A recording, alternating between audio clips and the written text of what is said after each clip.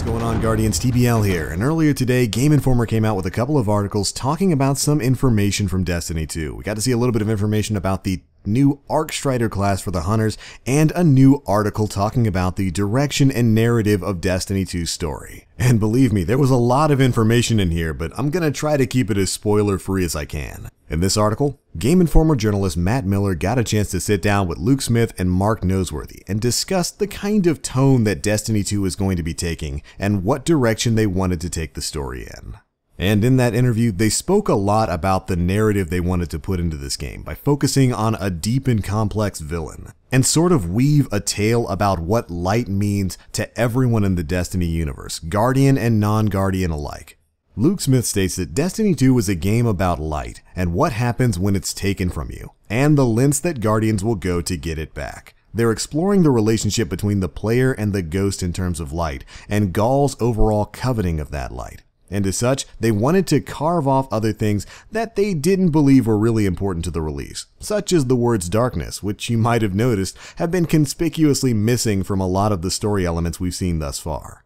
Smith continued by saying that we've never really seen or explored what the darkness means, and ultimately we do owe our players a story there. What is the darkness?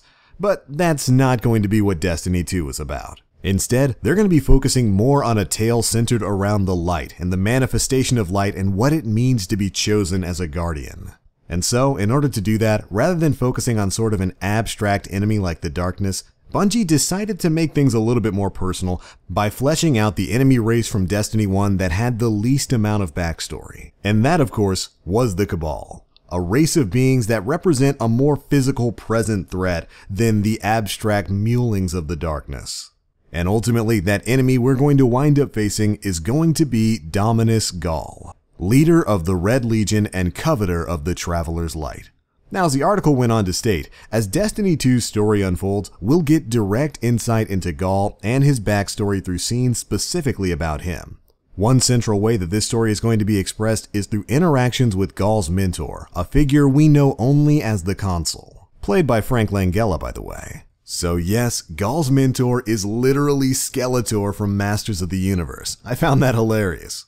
And he'll be serving as a character in this game who helps you to come to understand the enemy that we as Guardians will ultimately have to face.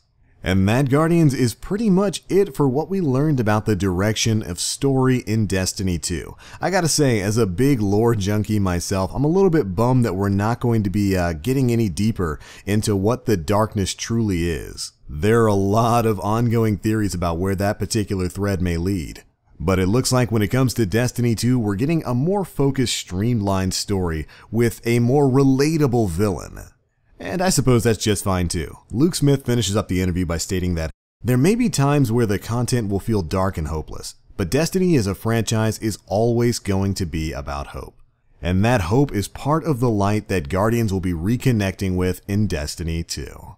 Be sure to let us know what you guys think of the narrative change in Destiny 2. Are you psyched to have a more focused villain in Dominus Ghaul? What are you looking to get out of Destiny's story? But I'm out for now. Thanks so much for watching. Be sure to stay tuned right here to Planet Destiny where we will be reporting on all of the new Destiny 2 information we're going to be getting out of E3.